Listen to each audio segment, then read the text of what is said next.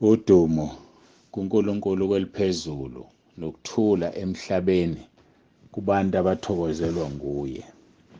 Baba unsibando okubingelelayo ndlalifa izulu. Ngithi uJesu Kristu inkosi. Siyambonga uNkulunkulu wethu kakhulu siyamdumisa ngesikhathi asipha sona nangosuku asiphe lona. Sisasebenza phansi kwasoke isikhathi noma isimo esingesihle kahle eyi ungabona wena ukuthi kwenzakalani.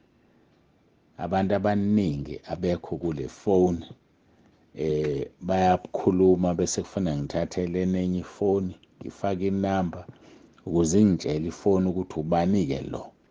Abanye bese bengaveli inhlobo nje inhlobo nje angazi ngempela isimo engisebenza kusona kodwa uNkulunkulu uzongisiza. Eh bazalwane siyambonga uNkulunkulu wethu ngosuku lwanamhlanje kakhulu usuku lwesibili lomkhosi usuku lwesibili lomkhosi. Siyambonga siyamdumisa. Uyinkosi yamakhosi unguJesu Kristu waseNazaretha unguJesu Kristu ophethe ukuphila kwethu. Eh ongumqalisi nomphelelisi wokukholwa kwami ongumqalisi nomphelelisi wokukholwa kwakho. Singakalifundiki izwi lenkosi. Ngiyacela ukuthi sikhuleke sisondele kuNkulunkulu wethu ngomkhuleko. Babongcwele babolungileyo uNkulunkulu onomusa ngiyazithoba phambi kobuso bakho ngaso lesi sikhathi sibonga uthando sithande ngalo. Siyabonga siyakudumisa sithi asinayo omunye uNkulunkulu ofana nawe. unguNkulunkulu ezulwini noNkulunkulu emhlabeni. unguNkulunkulu oqonda izimo zonke. unguNkulunkulu owazi izinto zonke. Namanje inkosi siyazithoba siyabonga ukuba sibe kulolu suku lwesibili sikhulekela inkonzo zabesifazane ngalempela sonto siyakucela siyakunxusa ukuba ube phakathi kwethu. Siyakucela siyakunxusa ukuba uhambe phakathi kwethu ubuse phakathi kwethu khulume phakathi kwethu. Nathi usipha amandla ukulenza izwi lakho sikwenze lokho okufunayo. Siyakhuleka Nkosi ukuba ubagcine abantwana bakho endleleni beseza ubagcine endleleni bebuyele emakhaya. Gcina imindeni yabo Nkosi nayo isale iphephile ngiyakhuleka ngegama elinamandla lenkosi uJesu Kristu ophilayo. Ukuba Nkosi uma bengekho besenkonzweni usathana angalitholi ithuba emakhaya kwenzeka izinto ezingamahlazo nezinto ezingafanele. Siyacela ubiye ngomlilo wakho wasezulwini. Sisondela kuwena-ke namanje siyacela ukhulume ngale nkonzo uzambule. Nkosi udumo lonke lungo lwakho lokufanele. Izikhathi zingakabi bikho. Mase kukhona abaphelelwa amandla ngiyabakhulekela ubaqinise. Abagulayo ngikhulekela ukuthi ubaphilise. Ngithumela izwi lakho elinamandla ukuba liwenze umsebenzi empilweni zabo. Ngicela ngoJesu Kristu inkosi yethu ephilayo. uJesu Kristu inkosi. Amen. Siyambonga uNkulunkulu wethu kakhulu. Siyambonga siyamdumisa. Simnikeza lonke udumo lungolwakhe eh lomfanele ngezikhathi zonke. Ya eh bazalwane siqhubeka ke nenkonzo yethu. Mahubo 103 mbonga uJehova mphefumulo wami ihubo lokudumisa uNkulunkulu. Ngomusa wakhe. Eyi umusa wakhe mkhulu ngiyakutshela wena. Yabona uma uhlala uthula ubheke ubheke emuva owazalwa nabo abasekho. Wafunda nabe primary abasekho. Wafunda nabe high school abasekho. Wasebenza nabo uma usufana nami usurithayile abasekho. Yazi ukuthi abasekho. Khona abantu ebengisebenza nabo a number of them sebewushiyile lo mhlaba abanye kangibazi. Wafunda nabe high school wafunda nabe tertiary abasekho. Hey isimangaliso lesi kodwa wena uNkulunkulu ukubekile. Kufana nakhona la ekhaya lezwi mangingaphazama ekhaya lezwi sesinabantu aba over 10 asebehambile ngisho mina bebesegrouphini angisho izihlobo zabantu abasegroupini ngisho bebesegroupini ngqo. Ngiyacabanga ukuthi ba over 10 angazi bengakaze ngicheck ngibona amafigures lokho kuwuphawu lokuthi siyahamba. Eyazi siyahamba. Ngophatheka kabi. Uma umuntu oke wabasekhaya lezwi ngingamfici ezulwini. Engophatheka kabi. Ngoba iqiniso lonke likhulunyiwe usambulela iqiniso uNkulunkulu. Ivangeli asinikeze lona liyaphila. Ivangeli asinikeze lona ileliya elilapha kuzenzo chapter 2 usinike ivangeli loqobo. Leli uJesu athi mayibethelwe esiphambanweni egwazwa ohlangothini lazalwa ibandla. Yilo leli.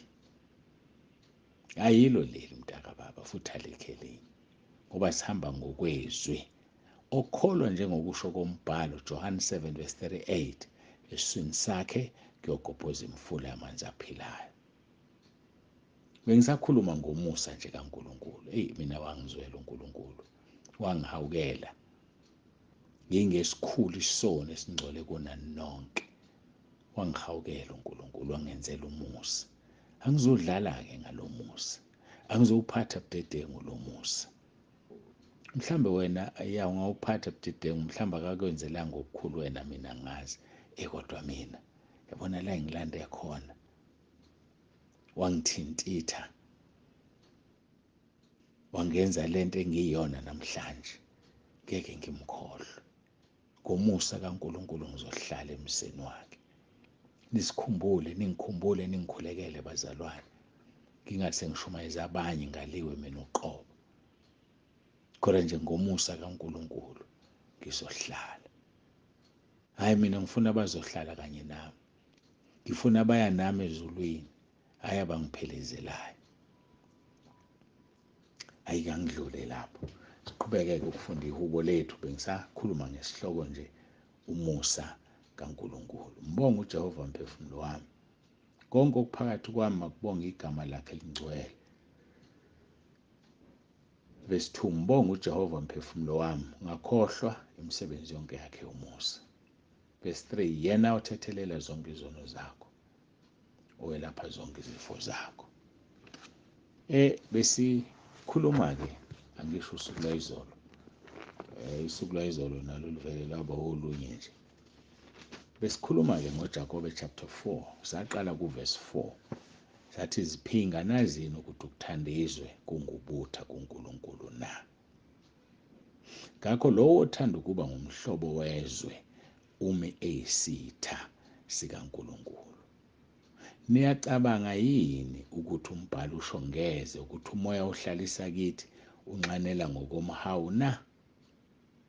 Kodwa unika umusa ngokwenezela. Ngakho uthi uNkulunkulu umelana nabazidlayo kepha abathobekileyo ubaphumuza uNkulunkulu umelana nabazidlayo singene kuverse 7 ngakho thobelani uNkulunkulu kepha nimelane noSathane khona kunibalekela thobelani uNkulunkulu. A weapon isikhali. Ukuthoba nje uthobela intando kaNkulunkulu. The devil will flee will flee away. Ewuzobaleka ayuzobaleka futhi usathane. Thina okwethu ukuthobela uNkulunkulu. Sasesibuka ke ncwadi uqala kaPetru chapter 5 verse 6 ngalokho zithobeni phansi kwesandla sikaNkulunkulu esinamandla ukuze niphakamise ngesikhathi esifaneleyo uyakuthanda ukuphakama? Uyakuthanda ukuba mkhulu?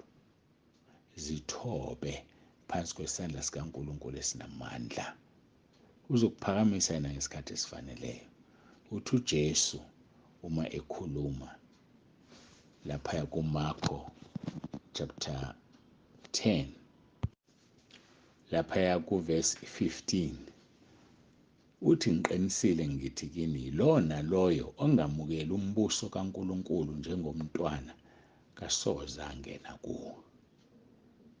Simele ukuzithoba. Siwamukela umbuso kaNkuluNkulu njengomntwana.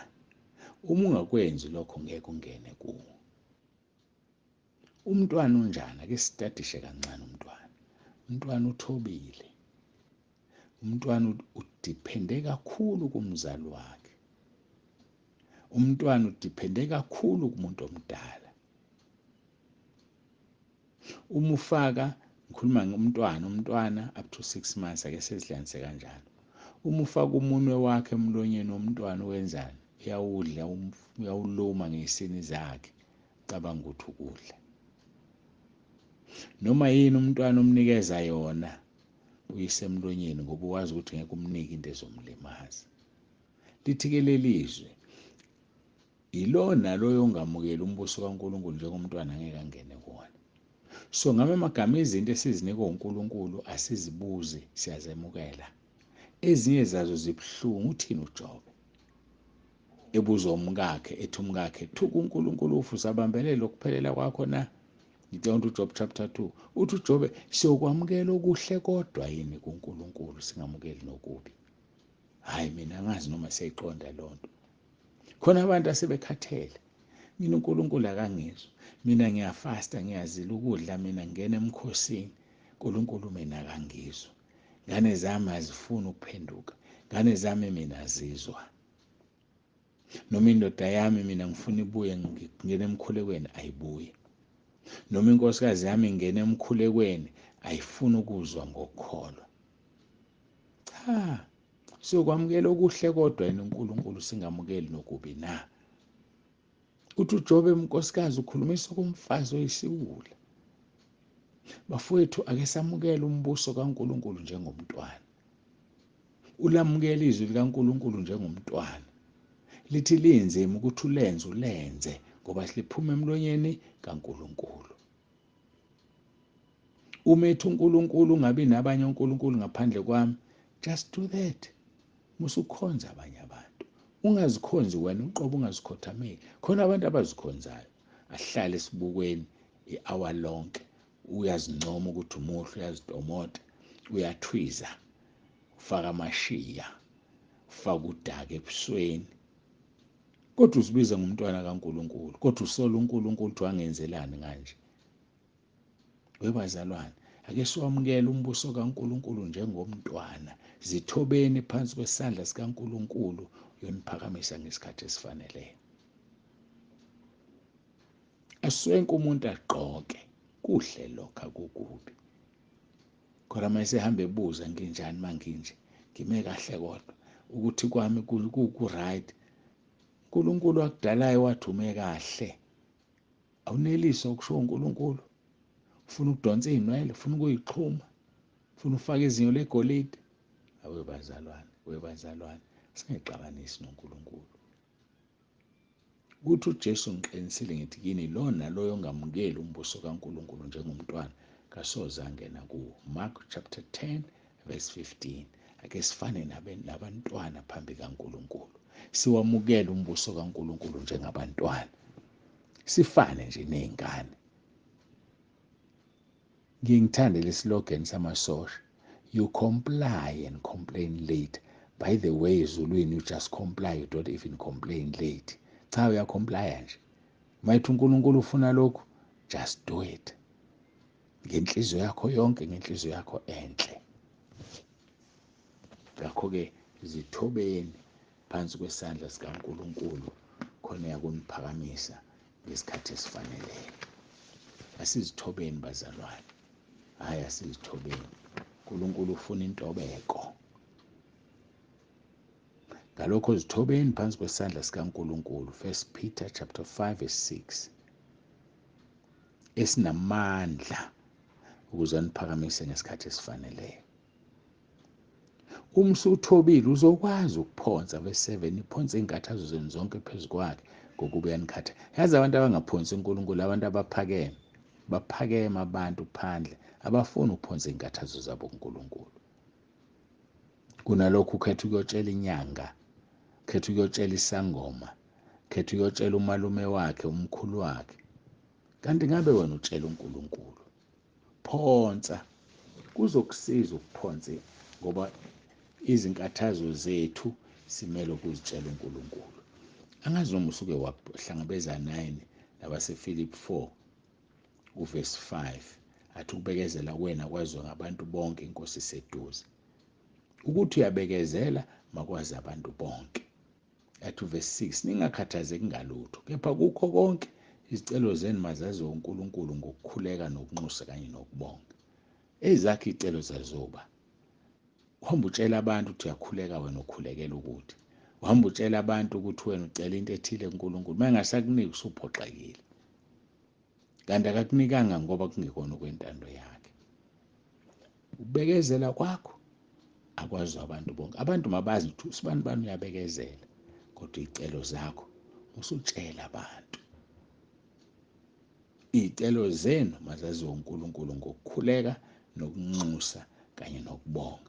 Uthi ukhuleka ubunxusa ubonga ukuthi usunakho ungakakutholi. Hayi ngeke. Bazalwane isikhathi sesihambile ngiyacela siguqe sikhuleke.